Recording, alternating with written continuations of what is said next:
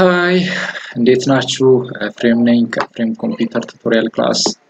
ባለፈው እንዳየነው ከዚህ ቀደም በቀረበልን tutorial እንዳየነው አንድ document ን በ Microsoft Office Word ላይ የተሰራ document ን ወደ PDF ያለምንም software software ሳንጠቀም እንዴት እዛው Microsoft Office Word ን በመጠቀም ብቻ PDF ማድረግ እንችላለን የሚለውን ተመልክተን ነበር።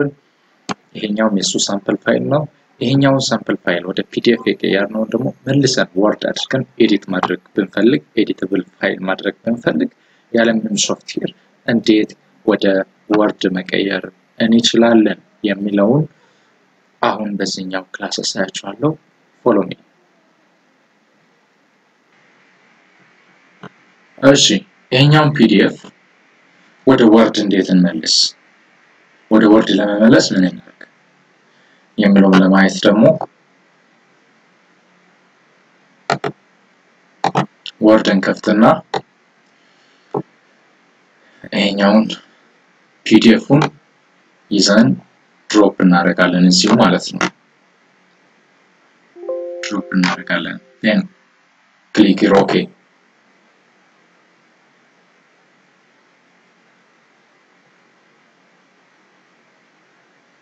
በጣም ጥሩ basic መቀየር መለወጥ የምንችለው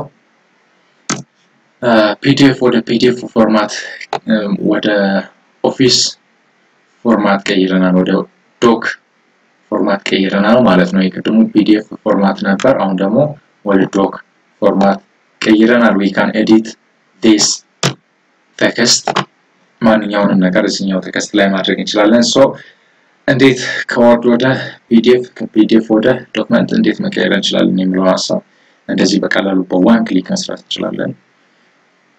thank you very much